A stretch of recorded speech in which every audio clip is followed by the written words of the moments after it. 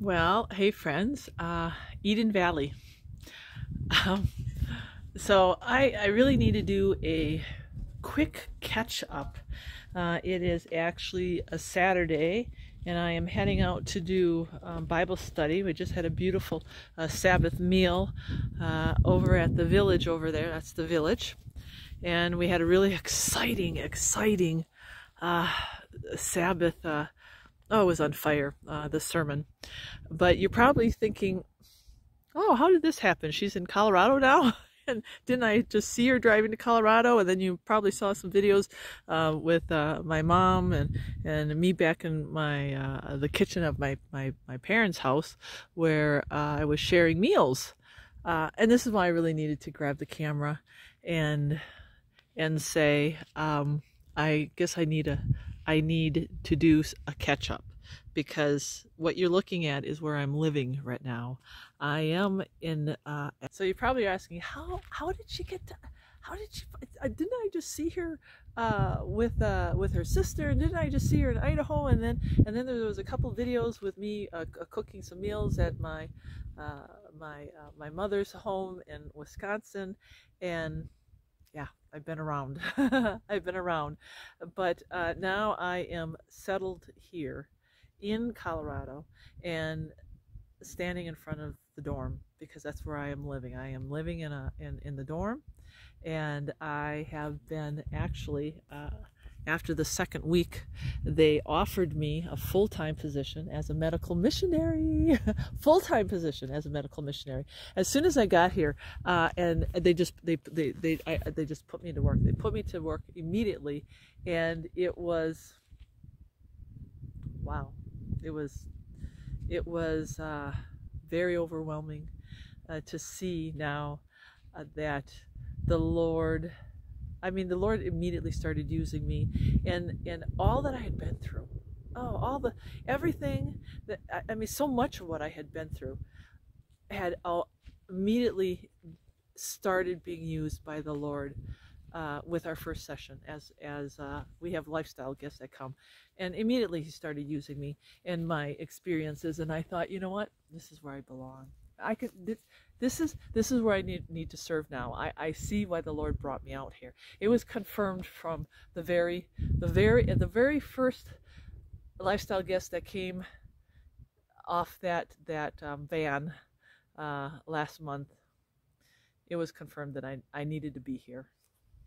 So uh, I thought, you know what? Um, I'm falling behind on uh, creating videos. I've got a lot of content from Idaho. I've got even content from Wisconsin that I never shared with you guys. I've got content from from Idaho that will just blow your socks off the way that the Lord just manifested himself in my life and revealed himself even more and, and the spiritual nature of what I witnessed in Idaho and the healing, the healing. Um, I just, uh, uh it just blew me away what happened in Idaho. And uh, and then um, we had to leave and you, you saw a little bit of those clips but you didn't see all the in-between things. And I just haven't had time to put it together. And then obviously coming here um, I just I've been taking video but the only thing I've been able to share is some devotions and that's it.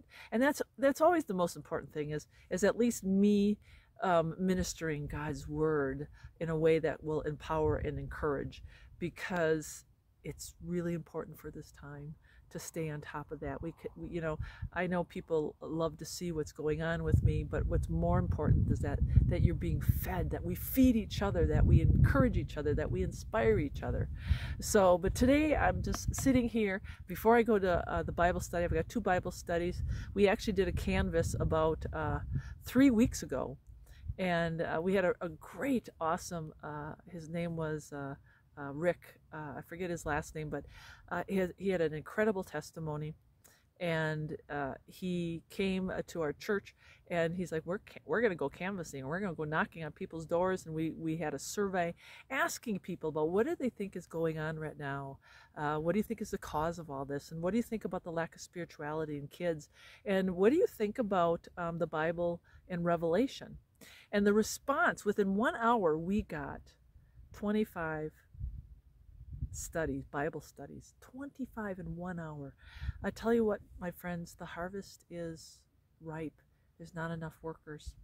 And we, uh, me and JB, my, my dorm partner here, uh, we actually have two ladies that we go see every every week, and we're doing a It Is Written study, and it's just it's it's really they, they have 101 questions. Uh, one lady is a a, a, a short interruption. Um, another incredible story. Another incredible story. And there's so many incredible stories here. How people got here. Um, when uh, the the guests the first day that I was here the first week that I was here we had guests coming in and the first lady that came off of the out of the van who became my um, I became her therapist oh I mean I just I just fell in love with her and we had so many things in common and it's not it wasn't a coincidence that we had all these things in common and we had the same struggles. We had the same temptations. Uh, we had the same fa- family member issues. I mean it was I'm like, God, is this really happening? Uh, and then just uh, what I've witnessed, like in the fever baths and in the and doing the therapies, and just amongst our team, you know, we we pray together uh, for our guests, and and to see the manifestation of the Holy Spirit, to see people be reconnected with the God, to see people be healed. Yeah. So I've got a, a whole bunch of things that I need to, to catch up with but I really wanted to just grab the camera real quick and say happy Sabbath. It is a beautiful Saturday here in Colorado. Uh, this is where I have settled now. Been here for a little over the month. I'm in the dorm. I've been offered a full-time position. I am working full-time as a therapist. We put in long, long hours. You'll see I, have been taping things and um, long hours, uh, 10, 11 hours. Um, we the only day that we really get off is Saturday, which is our Sabbath, and then I do Bible study. So it's exhausting. It's very exhausting. Um, I finally started getting some fever baths myself this myself this week because uh, I know people have been asking about the cancer, I, and that's one thing that I'll, I'll address real quickly. Uh, a lot of people are wondering how's the cancer. You know, they, they, think I'm healed. They think I'm in remission. Uh, multiple myeloma doesn't go away. It's incurable. So, no, I'm not in remission. Um, God's got the cancer. Uh, and it's really weird because I rarely talk about the cancer. I just, I, I do what I need to do, which is take care of myself. I, I follow God's healing plan. I trust Him with all my heart.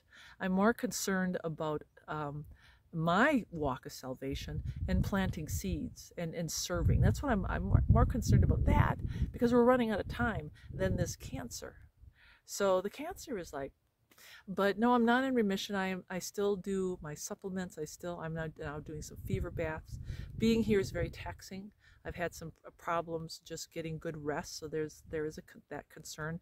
Uh, you'll see from the videos the it's a lot it's a lot of work. Us therapists are are worked really hard, but the rewards. Um, I keep saying to myself, Lord, um, just thank you for bringing me out here and help me not mumble and grumble about the long hours because I, we're serving. We're serving in a beautiful way.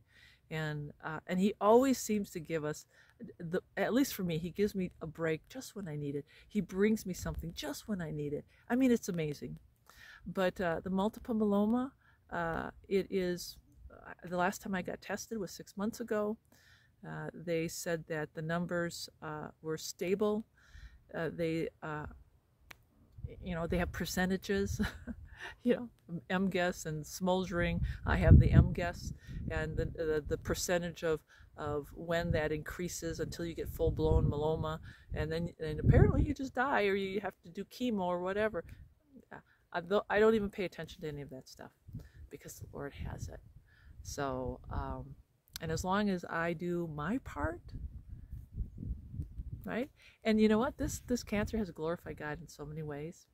I wouldn't change it for a world. Uh, I wouldn't change it for the world.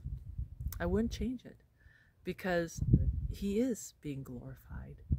And every day that I'm here and I'm healthy, and in spite of the cancer, that's that's a testimony to God and His character and what He's done in my life, because He's transformed me. Wow, is He transformed? Me? And I'm really grateful. So um, let me just uh, give you one last view here. Yes, this is the girls' dorm. I'm going to have a follow-up video. I don't know when, um, of when we moved in and when I arrived. I'm trying to find those videos. And um, my sister actually helped me fix up my room. Um, we had some really great times shopping. We went to Goodwill, and, and the Lord just, you know what? He brought things like, He just brought things. So I have a very comfortable room, and I got great um, dorm mates. And um, no men are, are no men. yeah, we don't have to worry about that.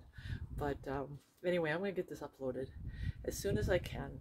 And thank you for your prayers. Thank you for uh, your encouragement, for always being there. And you know, I love this channel because every time I read a comment, you know, people come on here and they, they ask for prayers. Uh, we've been able to lift up many people with prayers. I've been able to reach out to people and help them. And you know, and the support that I get, it is a, it's, it's a real family that we have. And you know what, during this time, what's happening with COVID, the social distancing, all the, th- things that are going on with, with the government, this is spiritual. We are ushering in. I mean, we're we're ushering in the second the second Christ is coming back, and um, we're not seeing this by mistake, my friends.